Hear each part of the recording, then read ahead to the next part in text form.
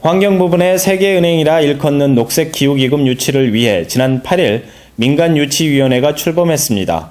GCF 녹색 기후기금은 개발도상국의 온실가스 감축과 기후변화 적응을 지원하기 위해 연간 천억 달러 규모로 조성되는 기금으로서 현재 사무국 유치를 위해 우리나라뿐 아니라 독일, 스위스, 멕시코 등 6개 나라가 경쟁하고 있습니다. 강력한 경쟁국인 독일이 GCF에 4천만 유로를 내놓겠다고 선언한 가운데 한국도 송도 국제도시에 건립 중인 아이타워 15개 층을 무상으로 제공하고 향후 7년간 사무국 운영 비용으로 매년 100만 달러씩 지원하기로 했습니다.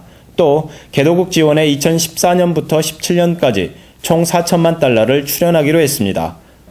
민간 부분에서도 전문성과 경험, 국제적 네트워크를 지원하기 위해 이날 한덕수 무역협회장을 민간 유치위원장으로 내세웠습니다.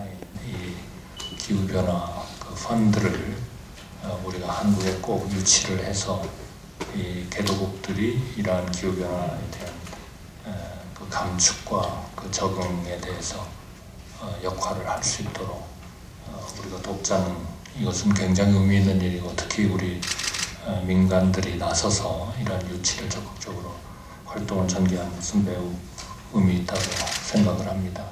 민간유치위원회 간사를 맡은 신재윤 기획재정부 1차관은 민간의 적극적인 지원을 당부했습니다. 이 국제기구 유치는 어, 이걸 해보면 1년에 천억 불씩 해서 상당한 기간 동안 이제 저희가 경제적 파급 효과와 또 국가적인 위상을 높일 수 있는 거라서 어, 정부 나름대로는 저희가 이제 뭐 국토부, 환경부, 지경부, 외교부까지 모아서 저희가 열심히 노력을 하고 있습니다만은 저희 힘만으로는 뭐 지식 전략을 짜는 쪽에서도 좀 부족한 면이 있을 수가 있고 또 접촉을 하는 데 있어서 좀 한계가 있을 수가 있어서 회의에 참석한 김상엽 녹색성장 기획관도 선진국 도약을 위해 한국 유치가 꼭 필요하다고 강조했습니다.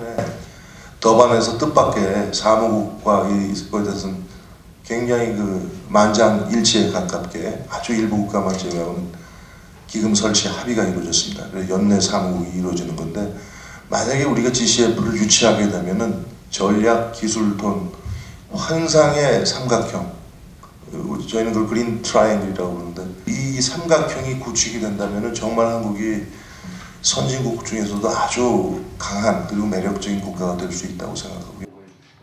최종 선정은 오는 8월 송도에서 제2차 임시사무국 이사회를 연 뒤 11월 카타르에서 열리는 제18차 유엔 기후변화 협약 당사국 총회에서 결정됩니다.